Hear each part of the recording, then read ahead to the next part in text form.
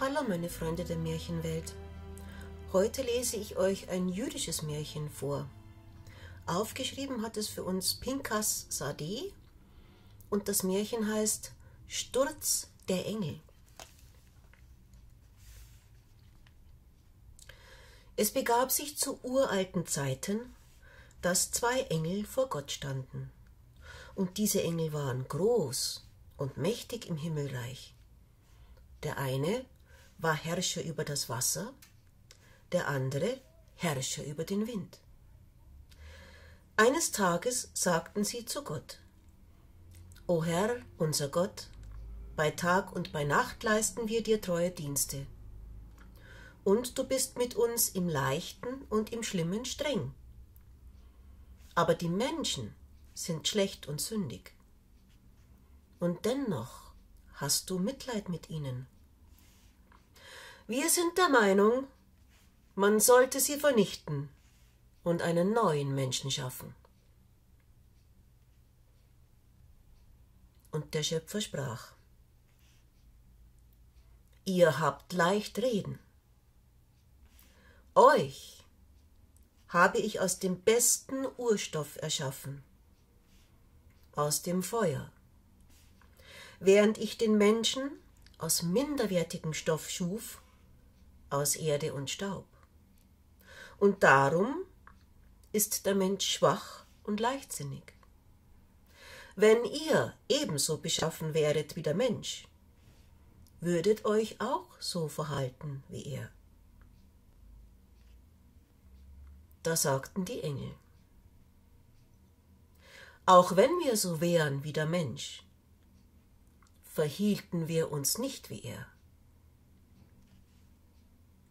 Da sprach Gott, ich schicke euch hinunter zur Erde, damit ihr hundert Jahre lang unter den Menschen lebt. Wenn ihr diese Prüfung besteht, werde ich eurem Wunsch nachgeben und die Menschheit vernichten.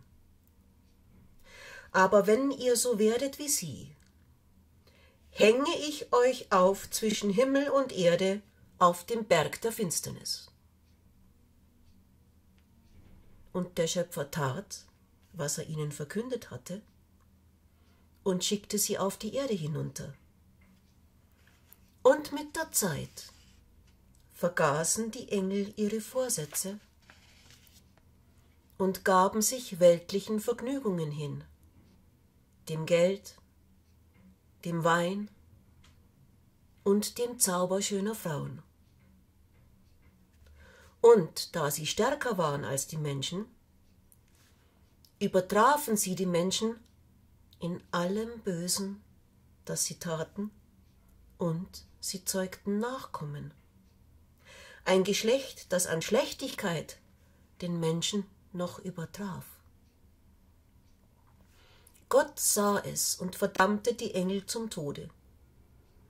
Und ihre Kadaver hängte er zwischen Himmel und Erde auf auf den Berg der Finsternis.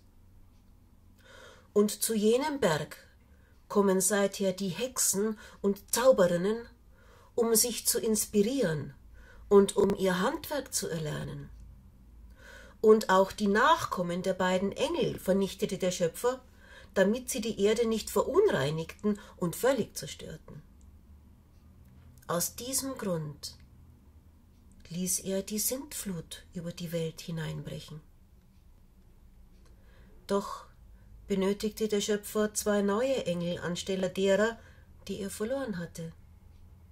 Darum ließ er den Propheten Elia und den Propheten Nahum kommen und setzte sie an die Stelle der verlorenen Engel ein.